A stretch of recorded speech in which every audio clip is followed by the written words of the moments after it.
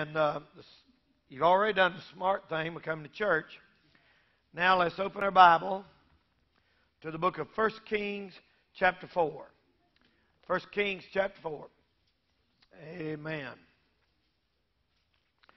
The book of 1 Kings, chapter number 4. This evening, we'll look here at just a, a small portion of Scripture and then go over a whole lot more of it here in the next few minutes. 1 Kings chapter 4 tells of the life of young Solomon, the son of David, who was, up until the time of Jesus Christ, the wisest man that ever lived. 1 Kings chapter 4. And let's look at verse 32. 1 Kings chapter 4 and verse 32. And he spake 3,000 proverbs, and his songs were a thousand and five. And he spake of trees, from the cedar tree that is in Lebanon, even unto the hyssop that springeth out of the wall. He spake also of beast, and of fowl, and of creeping things, and of fishes. And there came of all people to hear the wisdom of Solomon from all kings of the earth which had heard of his wisdom. The middle of verse 34 is the title of the message The Wisdom of Solomon. The Wisdom of Solomon. We have all heard of the great wisdom of Solomon. Let's see why and why the Bible says Solomon is the wisest man that ever lived. Now, you young people here, listen to that. You want wisdom. That's what you want. Proverbs 4 and verse 7 says, Wisdom is the principal thing. Therefore, get wisdom. Uh, let's first of all think about tonight what is the difference between wisdom and knowledge. We're living in a world that puts all the emphasis on knowledge and education. So, certainly nothing wrong with the right kind of knowledge and education, but there's a difference between wisdom and knowledge. Knowledge can be memorized. Wisdom must think things through. Wisdom is something that enables us to use knowledge. You listen? Wisdom is what enables us to use knowledge. That means you can, you can know a lot of stuff and not have any wisdom. And there's a lot of people like that. They know a lot, but have no wisdom whatsoever. Now, I'll show you what that means. Our preacher, my pastor, used to tell us, he said, wisdom is the right use of knowledge. Wis- uh, uh, knowledge is a chainsaw, and they can start it, and that thing's powerful, and it's strong. Wisdom is knowing how to take it and cut a tree down with it. That's the difference between wisdom and knowledge. A man with a chainsaw that don't know how to use it can do a lot of damage. He can hurt somebody. He can tear stuff up. And knowledge without wisdom can be a very dangerous thing. And wisdom, that's why they call wisdom teeth. People say, well, he got his wisdom. You know why they call them wisdom teeth? You get them to 18, 19, 17, 18, because you you ain't got no sense till you're that, about that age. And really, it's 21 for most of you and 30 for many of you, and some still are not there. Uh, I mean, uh, with, I mean, it takes a long time uh, to get wisdom. Wisdom is first based. Nobody gets it like overnight. It brings confidence and it brings mercy. Psalm 110 and verse 10 said, The fear of the Lord is the beginning of wisdom. Now get that. The fear of the Lord is the beginning of wisdom.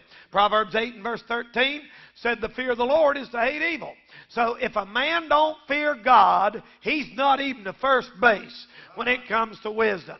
There's what we call in the Bible the wisdom of this world. That's a different kind of wisdom. It doesn't mean anything. It don't get you nowhere. It's like uh, like Einstein. Einstein was a smart man, but nothing Einstein ever gave this world really helps you through raising your kids or how to go through a divorce or how to fight through cancer or losing a loved one. I mean, you give us the atom bomb and how to figure out fractions and stuff, but that's, that's not wisdom. That's, that's a bunch of knowledge. Wisdom, knowledge is the fear of the Lord. So, doesn't matter how educated a man is, it doesn't matter how high his IQ is, if that man don't fear God, he's not even first base when it comes to wisdom. Now, the Bible said the beginning of wisdom is the fear of the Lord. Now you say, preacher, what is the fear of the Lord? Proverbs 8:13 said, "The fear of the Lord is to hate evil." That means most people in the world have no idea in this world what the fear of the Lord is. That means you're not really real smart till you start hating evil. Amen? Uh, because you just ain't got it figured out right until you start hating evil. Uh, you know, uh, the Bible said Solomon wrote Proverbs. Now, proverb is a wise old saying. And I hope, I hope after I'm gone, if I ever go, I hope that y'all remember me for something that I said. I mean, I hope people say, Brother Danny always said, Brother Danny always said. That's a proverb, a proverb that, that sticks, and it's wisdom. Uh, the Bible talks about Solomon. We've all heard of Proverbs. An old Jewish proverb is, a wise man lowers a ladder before he jumps into a pit. That's a wise saying. In other words, you don't jump down the pit if you ain't got no way back out. A wise man lowers a ladder. That's true in matters of business. That means make sure you can pay your payments before you go buy a car. A lot of people ain't got that kind of wisdom. Amen. Uh, uh, yeah, they sign the dotted line and have no idea in the world. That's not a wise man. An old Dutch proverb. The wicked shun the light as the devil shuns the cross. That's true. Uh, a wise man cares not for what he cannot have. Amen. Uh, Smith and Wesson beats four aces, stuff like that. Uh, uh, never play leapfrog with a unicorn. You know, old saying of the wise uh, people like that right there. Uh, just wise old sayings like that. Amen. Well, uh, there's some good ones. Solomon wrote three thousand proverbs. 3,000. How would you like to be remembered 3,000 things that you said. Now, the truth is, most people live and die, and nobody ever remembers one thing they say. Ain't that right? I'd hate to live in this world and die, and everybody said, You remember old Danny Castle? Yeah. Did he ever say, no, I never did hear him say nothing worth remembering. That'd be awful, wouldn't it? Uh, Solomon had 3,000 proverbs. How about this? Trust in the Lord with all thine heart. Lean not to thine own understanding. In all thy ways acknowledge him, and he shall direct thy path. Pretty wise, huh? Don't you think that's pretty good? What about what about this saying right here? Uh, uh, what about fools make a mock at sin? Pretty good, huh? Uh, what about talking about that old whorish woman? And he said her house is the way to hell. Amen. That's uh, that's the old them old Atlanta whore wives that come on. it said it said her house is the way to hell. I mean that drug dealer's house is the way to hell. Uh, that liquor store is the way to hell. Solomon made those great sayings like that. Foolishness is bound in the heart of a child, but the rod of correction shall drive it far from. That's pretty good, ain't it? Foolishness bound in the heart of every child. Those are all proverbs that King Solomon made. Uh, that's right. And then he wrote a thousand and five songs. Get out of here, Paul McCartney. John, get out, you amateurs. I, I mean, like that. 1,005 songs, including the most famous song ever, the Song of Solomon, that made it into the Holy Scripture of the Word of God. That's what kind of wisdom Solomon had.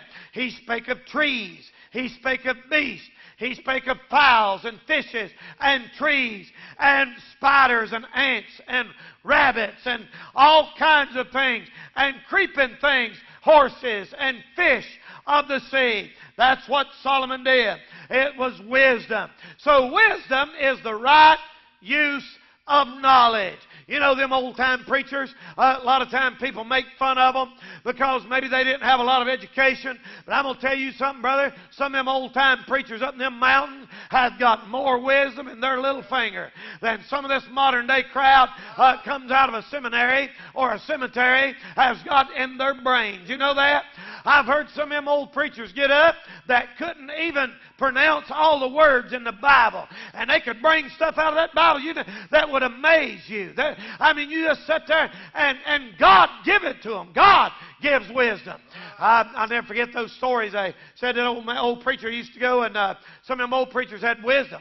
Old Bob Jones Sr. and some of them old men, uh, when they was young, uh, they, he had wisdom. They said one day, there's a, a, a chicken thief in the community.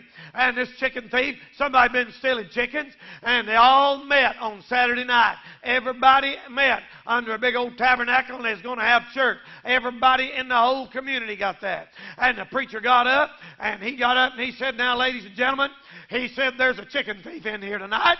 And he said, You're hiding. But he said, uh, Tonight, God's going to show us who you are. He took a big old rock about that big and laid it on the pulpit. He said, In just a minute, God, the Holy Ghost, is going to show us who the chicken thief is. He laid that rock down.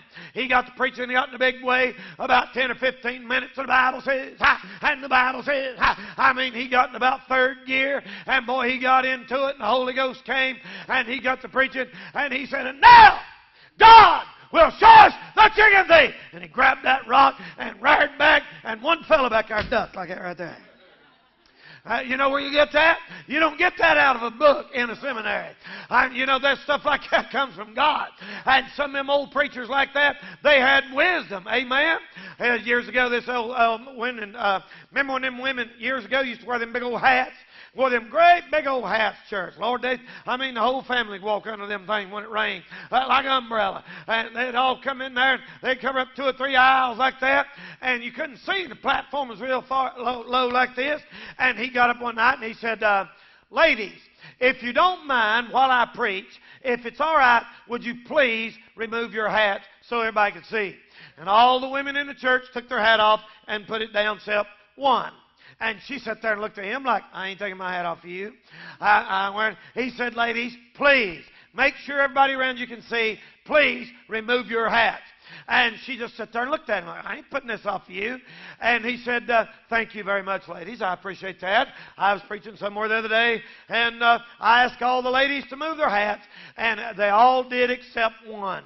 And come to find out, she was bald headed. And uh, that woman went, oh, put that hat down. I'm telling you, buddy, that's smooth, buddy. That's smooth. That ain't knowledge. That's wisdom. Amen. That's wisdom. That's right. I'm telling you, ladies and gentlemen, that's wisdom. That ain't knowledge. You don't get that in the schoolroom. You get that from God. You know where you get knowledge, preachers? You get knowledge by taking your Bible and going up in the woods and getting down like this and say, God, I'm an ignorant child. Show me something. Give me something. And wisdom comes from God. Wisdom comes from God. Listen, I've seen 10, 11 year old kids got more wisdom than a doctor on the radio that don't even know the right Bible to preach out of. Say amen right there. I'm telling you tonight, ladies and gentlemen, uh, that's what wisdom is. Secondly, tonight, I want to say this. When should you get wisdom? Obviously, the younger the better. In 1 Kings chapter 3, uh, that's why some kids have wisdom. That's when Solomon got it. He behaved right. He behaved right. You know what God said in 1 Kings chapter 3? The Lord come to Solomon one night and he said, Solomon, ask whatever you want me to do for you. I'll do it. To a young man. Now, you know what? If God asks most people that, what if God come down tonight and asked most people in North Carolina, whatever you want me to do, I'll do it. Oh, you know what? Oh, I want a new house. I want a new car. I want a million dollars. You know what Solomon said? You know what Solomon said? He said, Lord, I'm not asking for riches. He said, Lord, I'm not asking for uh, uh material things. I'm not even asking for a long life. I'm not asking for help. Just give me enough sense to do what I need to do to help these people. And the Lord said, You got it, buddy. I'm putting wisdom in you. And just because you didn't ask for that other stuff, I'm going to go ahead and throw that in too.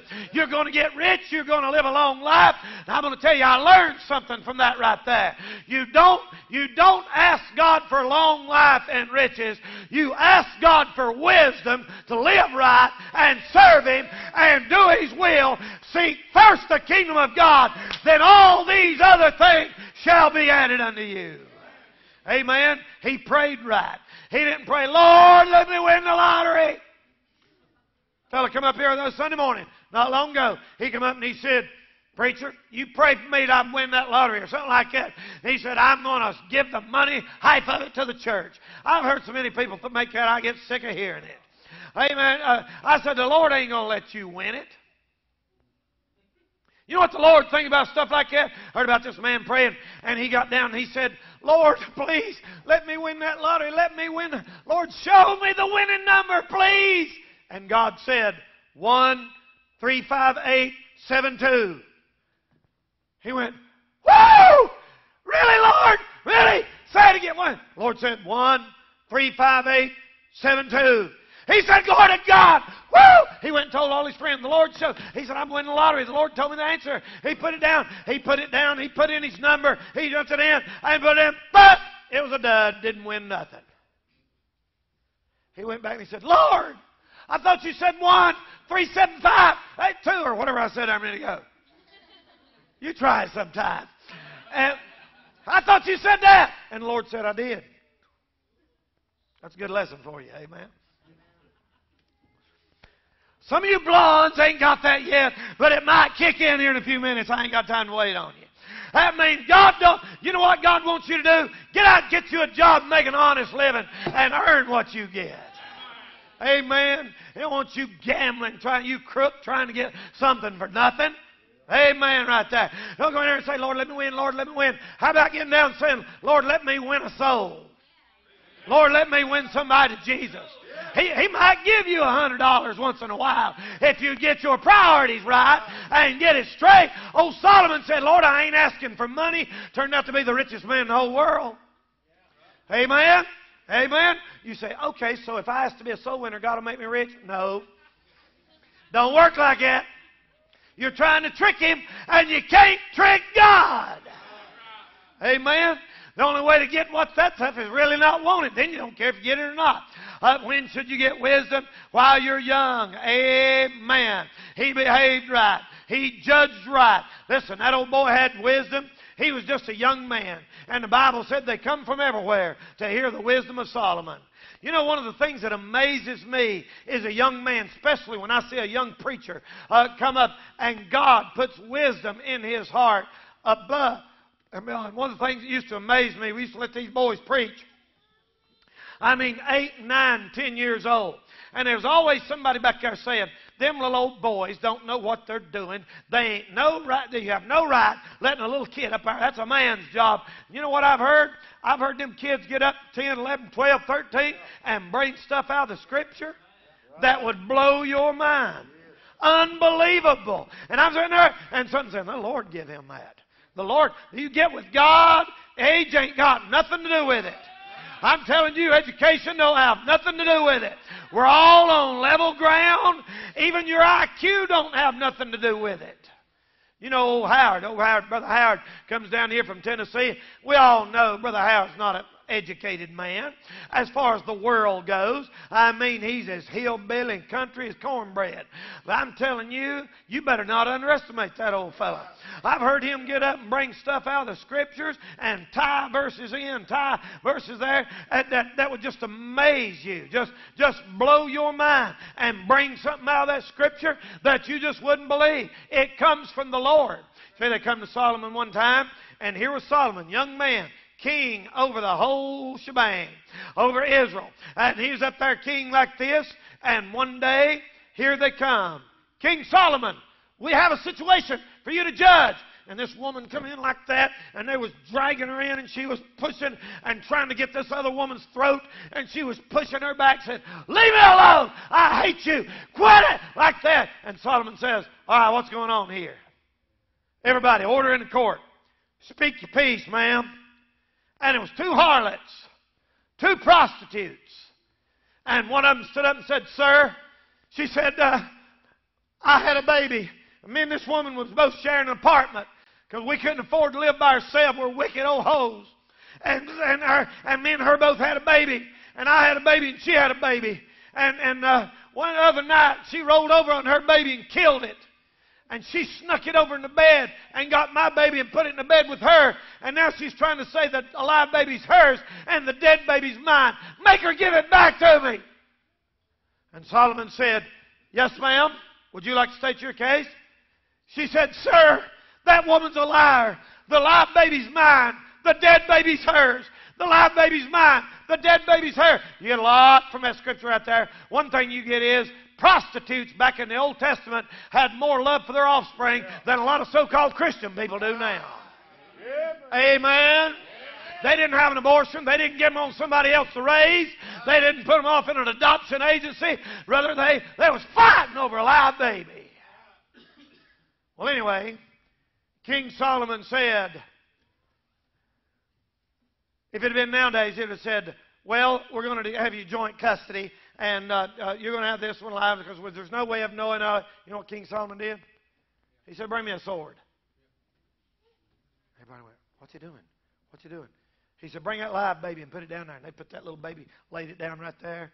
And they go, a little bitty one, like days old because they couldn't tell them apart. And it was going like that right there. And he said, bring that thing over here, take that sword and cut it in half and give her half and her half. That make y'all happy? And everybody in the courtroom, oh my gosh, is he really going to do that? Is he really going to do that? And a big guy comes over here with a sword like that and gets ready to take that baby's life. And he goes like that. And he goes like that. And this woman says, No! Stop! No, don't kill it! Let her have it! Let her have it! Let her have it! And he said, Take that baby and give it to her. She's the real mother. And she grabbed that baby and went out hugging it like that. Another went out. And the Bible said that it went all over the country the wisdom of Solomon. You know the only place you get stuff like that? You get that from God. The Lord gives wisdom. Every man in here tonight needs to ask God to give you wisdom to be a good husband and raise your family right. There's decisions that they don't make books that answers all the questions you run into. Nobody writes a book that has all the answers. You run into situations, well, who wrote a book about this? Nobody. You gotta, listen, every person's gotta make choices and decisions there ain't no book that tells you what to do. Listen, I've been in times in my life when I absolutely did not know which way to go. I had people saying do this. I had people saying don't do this. I had people saying go here. I had people saying don't go. But I was getting pulled around like a, I was in a cartoon. But I'm telling you what, I got down on my face and I begged God for wisdom and I begged Him to help me. And I'm telling you something, brother. I, I used what I had and God will give you the wisdom what you ought to do. I'll never forget. I told about the other night. The reason I thought about this. I Told about that youth rally the other night. When I first started preaching, I started preaching when I was 19, and I mean I was preaching revival meetings when I was 19 years old, just like I do now. I, not not as far off and as many, but I was 19, 20, 21, 22, preaching revival, preaching all over the country, and I was preaching all over the county, Marion, down in here, Morgan, and stuff like that. And this guy called me and he was doing the juvenile center work over in Swannanoa. Anybody ever been over there to Swannanoa to the juvenile center? They, they have a, a, a large juvenile ministry over there between Black Mountain and Asheville. And there's a big old place over there, and this guy called me. He said, Danny, he said, I want you to come and preach. I believe it was on a Thursday night. And I said, sure. Man, I, I, my heart jumped up and down. Every time I got a chance to preach, it just tickled me. I'm telling you. But I was scared, and I was sick, and I couldn't eat. I, I was worried. And I got down and I prayed, and I'd pray. And I'd say, Lord, help me, Lord, help me, Lord, help me, Lord, help me. Well, I went over there that night. I never preached something like that. I'd preached in churches just for about uh, maybe a year. I was about 20, I believe, maybe 21 when this happened. 21 years old, I'll say. And uh, I went over there that night, and it was a big old place. Uh, it was probably about two, maybe three fourths as big as this auditorium. And here they come. And they opened that back door, buddy, and as teenagers come in there, they was from 12 to 17. They was in there for larceny. They was in there for burglary. They had tried to kill their parents. They had run off, got in trouble, attempted murder, everything. The worst of the worst juveniles. I'm telling you, brother, they come in there like a wild. It wasn't like, see, I've been used to preaching up Spruce Pine and up Mabry County and stuff. Them good little churches there where all the folks sat there nice and smiled at me and shook my hand. Well, this come in like a mob. And they come in there that night pushing and hollering, and they sit like this. They sit up here, where up here like this. Put your feet down in where you're supposed to sit. Don't y'all do this. It's bad manners. And uh, and I, I sat like that, and they was all pushing each other, and the girls on one side, and the boys on the other, and a guard over here, and a guard over there, and a guard over there, and a guard over there, and it was like it was a mob. And I thought, oh boy. And I mean, I, they most of them look older than I did. I mean, when I was 20, I looked like I was about 11. And, uh, and I, I, I was sitting there like that, scared to death, had my Bible. I said, oh, Lord, oh, Lord. And they was pushing and screaming and everything. Finally, they said, now we have this young man from down in Marion who's come to preach for us. Reverend Davy Castle, come on. I got up there that night. I opened my Bible. I read. I was scared to death. I started preaching. And the more I started preaching, the braver and bolder I got. I mean, you know how it is. You know, you're, I mean, once you get to preaching, boy, I mean, you feel 10 foot tall and bulletproof. I, I, I, I played ball with a guy over there the other day, and he said, You look like you're a big man on that sign. I said, I ain't as big as I am on that sign. They do that to scare people off. Uh, I put that on there, but I, I, I, I was on there and I stood there, and all them that mob of young people in there, and boy, I got to preaching. And the first thing I knowed, I, I started, I cut loose. I started preaching just like I am here tonight. I said, the Bible says this, the Bible said that, Bible said that, Bible said that. About that time, I started kicking their gods. You know, you get in, you get in trouble when you start kicking somebody's God. And boy, I said, I said it's like smoking pot. You're not supposed to smoke pot. I said it's wicked. It's wrong. And boy, they started going, no, boo, no. I said, oh boy, I've done it now. I said it's wrong. You ain't supposed to smoke marijuana. And there was a boy on this side over here, about halfway back, about right there where Jason's sitting right there. And buddy, he raised his hand like this, and he says, I want to ask a question. I said, uh oh. That never, I never had seen that. I thought, now what am I going to do? They didn't do that in Spruce Pine at them little nice churches. It was always, sweet young man, we're going to give you a dollar. Don't ever quit and shake your hand. And That's what it was. Man, that guy said, I want to ask a question. I said, uh oh. And I looked over this way and preached for a few minutes and acted like I didn't see him. But I could see him out of the corner of my eye. He was over there raising his hand. And I thought, well, surely that nut will shut up. I just kept on preaching. He didn't hush. He said, I want to ask a question. I want to ask a question. I, I thought, I didn't know what else to do. Finally, I stopped and said, All right, what do you want? And he said, If God didn't want us to smoke pot, why did he let it grow? Uh. And all them kids looked at me and went, Yeah. And I went, Uh oh. I'm telling you, I shot up a prayer with the speed of light, brother. God, hit, boom, just like it right there. And before I knew it, before I knew it, I looked back at him and I said, Well, God made poison too, dummy, but that don't mean you're supposed to go out and waller around in it. And they were, and I said, God made rattlesnake. That don't mean you're supposed to kiss him in the mouth. And all them kids looked at that guy and said, Yeah. I said, Amen.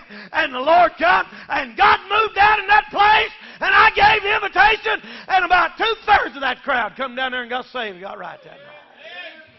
You know where that come from? I didn't learn that in no book. That come from me getting down in the woods up there a few days before that, saying, God help me and give me some sense. You know where wisdom comes from?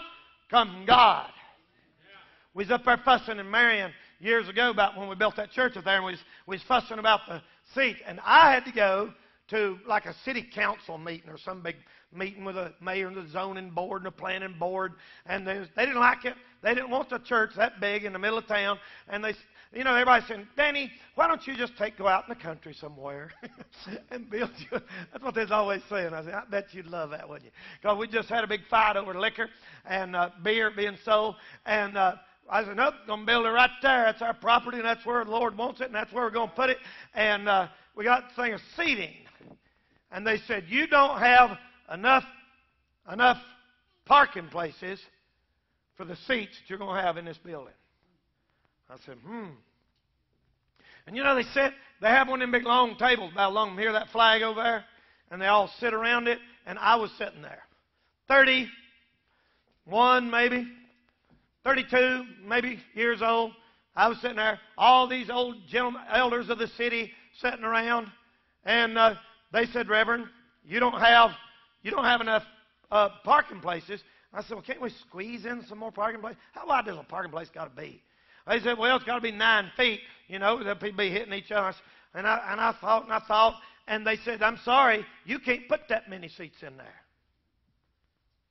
And they said, uh, the pew company, they said, your designer, the people that design, your architect, has so many pews and so many seats. And all of a sudden, I said, uh, well, you know, uh, there's a seat, and there's a seat, and there's a seat. How do you figure how many people sits on one of them things? And pew companies, when they design chairs, seats like that, they design them as 18 inches per person. That's what they call a seat. You buy pews from any pew company, any church, and they, like they say, your church seats uh, 500. That means 18 inches, 18 inches, 18 inches, 18 inches, and, every, one person in every 18 inches put 500 in there. And and I and I said, uh, I said, you know, guys, uh, honest to goodness, I think they just say that to sell pews. And they all looked at me, and I said, uh, I said, look at me, little as I am. I'm sitting here, and I take up 24 inches. Look at my elbows. And you know, they looked at each other and they said, you know, he may be right. And one of them went and got a ruler. and they was measuring, yeah, and some of them fellers took up way more than 18 inches, let me tell you. 36. 72. Uh, I, I mean, and, and then I said, I said, ain't nobody going to sit in 70, uh, 18 inches unless it's a little bitty kid. I said, let's, let's call it 24 inches. How about that? And you know what they done? They said, you know, you got a point there, preacher. And they let us figure 24 inches a person and got by and got a permit and built that church. And they wasn't going to let it happen. Now, where'd that come from? It either come from the Lord or the castle Jew in me, one or the other. Or both. But I'm going to tell you something, ladies and gentlemen, tonight, God gives us wisdom. He can help you on your job. He can help you with your Sunday school class, with your bus route, with the people you work with. There has to come wisdom, divine wisdom. We got the edge on this world by the wisdom of God. Guy said one time, this guy got him a job, and this guy couldn't talk plain, and I'm not making fun of nobody, really, but he couldn't talk plain. Stuttered really, really bad. And I'm not, I, I do it myself sometimes. And this guy, he got a job selling Bibles. And he talked like this. I, I, I, don't, Jimmy. Like that. And I'm, I'm not being ugly. That's just the way he talked. He, he stuttered really, really bad. Couldn't find out. He was the top salesman three months in a row. And the manager looked at him and said, I don't see how in the world you're doing this. He said, How in the world are you selling? He said, Do you mind if I go with you this week to see how you're selling so many Bibles? He said, Come on. He said, He went out, knocked on the first door. Lady came to the door. He said, Ma'am,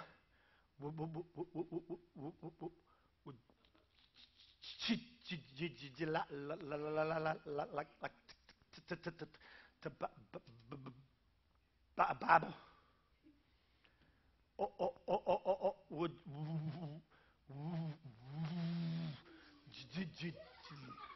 like, like for me to read it to you.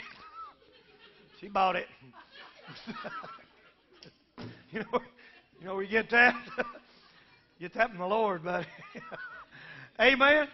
You know what that old boy did? He said, I'm going to take what I've got and I'm going to give it to God, my handicap, and let God use it for His glory. Where does wisdom come from? Proverbs 2 and verse 6 says, The Lord giveth wisdom. 1 Corinthians chapter 1 verse 24 says, Christ is the wisdom of God. Amen. Listen, a man who understands Jesus Christ, who he is, what he is and was and will be and plans are, is a wise man and has the proper view of life and philosophy and world events. A man who does not know Jesus Christ has no clue in the world. They think the world's getting better and we're going to bring in a great era of peace and we're all going to get rid of our differences and learn to live each other and live happily ever after. A man that don't know Jesus Christ and does not put Jesus Christ in his proper place has no clue in the world what's going on. Me and you know what it is. Man fell in the Garden of Eden. He's a fallen creature. That's why all the problems in the world. That's why cats ate rats. That's why dogs kill cats. That's why tigers uh, kill. They chase deer and animals and everything and turn them up. The curse of sin into this world. And Jesus Christ came there a long time ago and was made a curse for us. And everything's falling into place right now. He's going to come back again, take us out of this old world, set up a kingdom for a thousand years. Listen, that's the wisdom that God gives, and you can't have that without a right view of the Lord Jesus Christ. You got to put Him in the right place. Listen, I'm about through. If you don't understand Jesus Christ, you're like a man out here with no watch, and no calendar, and no map, and no compass. If a man don't have a watch, he don't know what time it is. Man don't have a calendar, he don't know what day it is. Man don't have a map, he don't know where he's at and he don't have a compass, he don't even know which way is north, south, east, and west. There's a, there's a, there's a word for that. It's called lost. And most people in this world tonight have no watch, no calendar, no map, no compass, and lost. You know how to get wisdom? Young people, you want me to tell you how to get wisdom? It is not from a video game. I never have seen anybody yet got any smarter doing this all day, looking at their, their TV. You got good exercise in your thumbs. Your thumbs will probably never have a blood clot, or, or you'll never have a thumb attack or nothing like that. But big deal. Some of you, your thumbs are the healthiest part on you, and your digestive system. Because all you do is eat and play games. And what's really bad is 30 and 35 and 40 year old men. We go on bus route and go in there. Here's a 40 year old man. And it's pretty weather outside. His grass is that high. That's pitiful. How pitiful. Tell you what you do. You put your nose in that book right there. You get you a Bible and you stick your nose in it. Read you about uh, read a hundred chapters this week. Do you know you can read Proverbs in three days? I've been I was just reading it this week. You know you can read Proverbs in three days? 10, 20, 30, only 31 chapters. 10 one day, 10 one day, 11 the next day. Read Proverbs. You want to be smart? Read Proverbs. I'll close with this tonight. James 1 5 said, If any of you lack wisdom, what?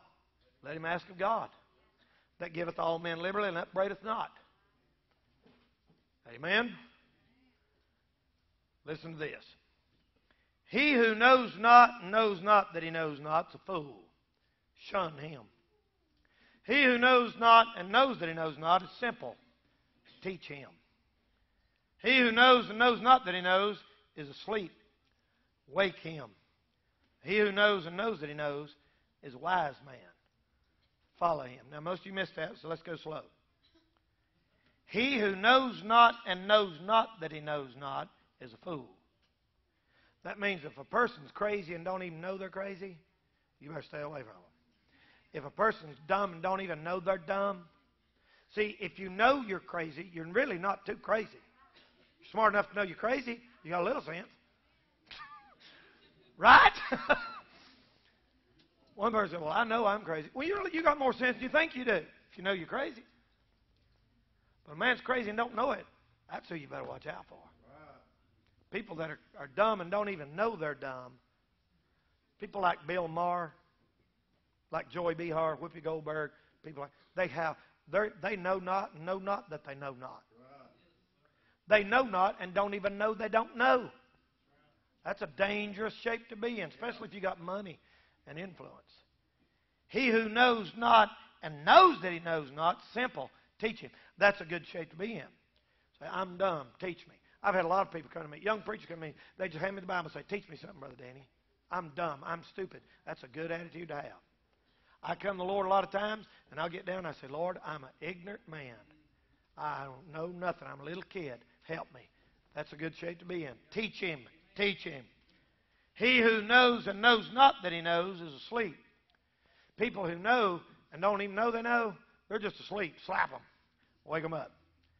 But he that knows and knows that he knows is a wise man. Follow him. That's the wisdom that Solomon had. Let's stand. Bow our heads for prayer.